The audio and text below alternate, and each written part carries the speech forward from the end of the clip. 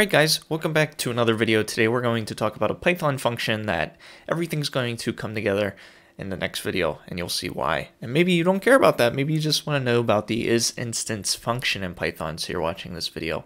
Whatever the case may be, uh, thanks for coming along and feel free to subscribe, that way you don't miss any future videos that you might find helpful. And on this channel we just learn to code as I learn different things.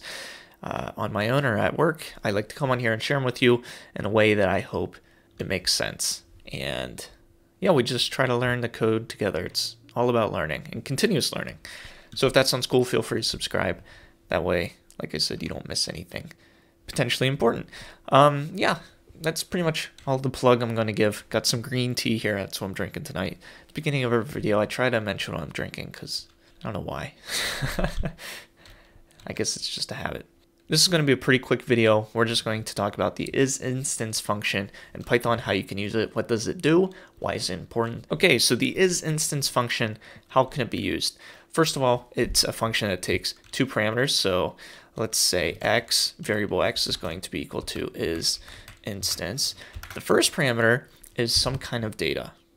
In our case, I'm going to pass in an integer, 21. Second parameter is a type, and we'll look at the different types you can use here in a second, but in our case, I'm just going to put type int right here, and that's going to return true or false. Does the object passed here, 21, is it an integer or not? And so let's print this just to see what the outcome is. And I'll go run this. And here we can see it's true. Now notice if I change that to a string and I save and I run this down below, we get false. And this might be important because when you're taking user input, you're not always going to know, uh, especially if you're asking for what is their age and they give you some kind of string, you can say right off the bat, is this an instance of an integer? Because we're looking for their age. If they give you the string yes, that's not going to be an age.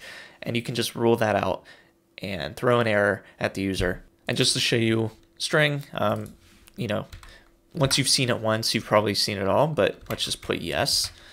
And we'll save and run this. And notice down here, it came back as true because yes here is a string. If it's a tuple, let's pass in a tuple. So we can have 21, I guess, and yes in this tuple. And then the type, we're going to ask, is the first parameter going to be a tuple? I'm going to clear this down here and run it. And that comes out as true because this is a tuple. Dictionary, as you would expect, let's do one and a value of test. And this is going to be dict, not tuple. We'll run this. Now we get true. You can pass in multiple things in here. So if we wanted to, inside of parentheses, I can put int, I can put uh, tuple, I can put string, and if it meets one of these in this group here, it will come back as true. But in our case, we didn't put dictionary in this group, and so it came back false, or tuple, I guess. So let's put dictionary in this tuple, and now we get true. Okay, so lastly, I want to show you something that's kind of related to what we talked about in the last couple videos. We talked about classes a few videos back, and this is actually going to continue on in the next video where I use this to show you how you can use this for multiple constructors in your class. That's the whole reason I'm really talking about this, or I guess what brought this to mind. But let's say we have a class, dog, and I'm just going to give it one property, x, which is going to equal 1, because this is just for uh, demonstration. Let's say d here is going to be equal to a new dog object.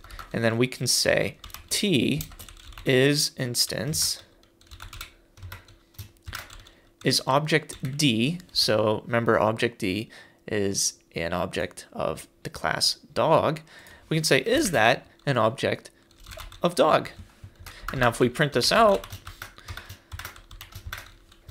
and we run this, we get true because D is an object of class dog and we asked it, is D an object of dog? And it wrote back, yes. So you can ask it, is this object an instance of this particular class?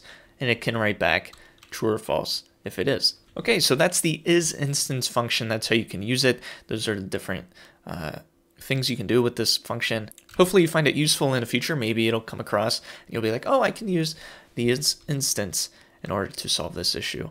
So thanks so much for watching. I hope to see you in the next video when we talk about how to have multiple constructors in a Python class. And yeah, take care.